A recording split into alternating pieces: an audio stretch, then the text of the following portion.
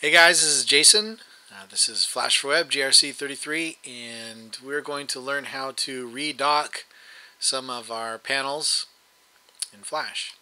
Um, Flash comes with a couple different preset panel layouts um, that you can access through the window menu and let's go ahead and see what the default looks like.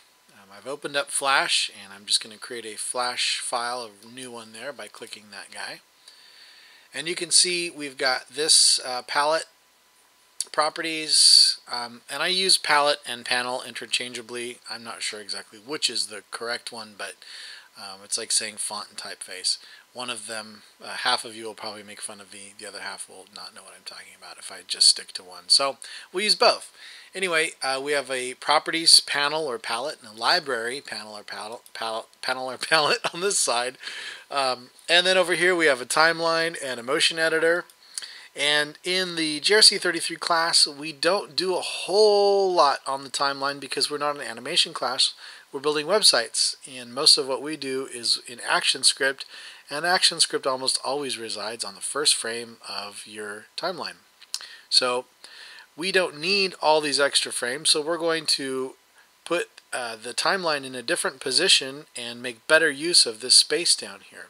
And we redock this by selecting the tab with a click and we hold down that click and then pull away from that dock area and now we are going to move it to this dock area over here. Now we don't want to put it with these other panels here so that it's another tab that we have to choose. We want it in its own space and so we can add a new space within this dock area by moving this either down and we can see a blue bar there or we can go up and we see a blue bar up there. If there's a blue box then it's going to dock with everything that's existing in that dock area already. So we're going to put it down at the bottom. So we're going to drag it down to the bottom and then I'm going to let go of my mouse and now we have our timeline is neatly docked in the lower right hand corner of our screen.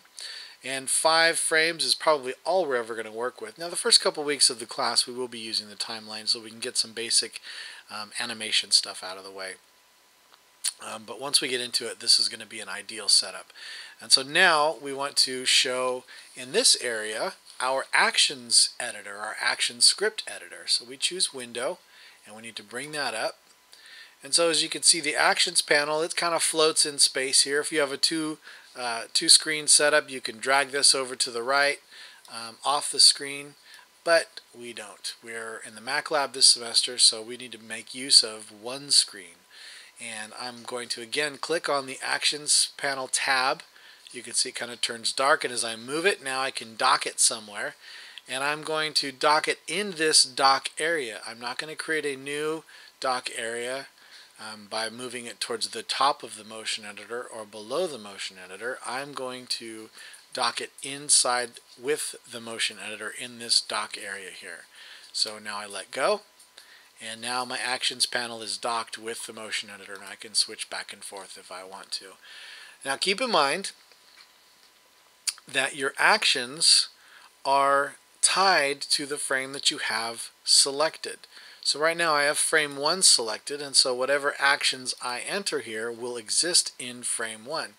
That's something to remember in Flash is that all of your uh, palettes or panels are context sensitive. So if I've got something selected on the stage, it's going to show the properties for that selected object here. Right now there's no objects on the stage, so nothing's selected. So essentially the stage is selected, and so we see the properties for the stage.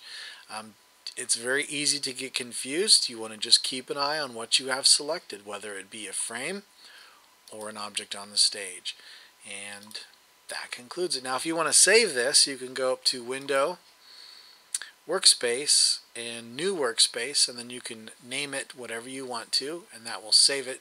Um, and this will only work on your home computer or laptop. Uh, the computers in class, of course, have deep freeze, so everything gets reset. Um, so that concludes it. Thanks, guys.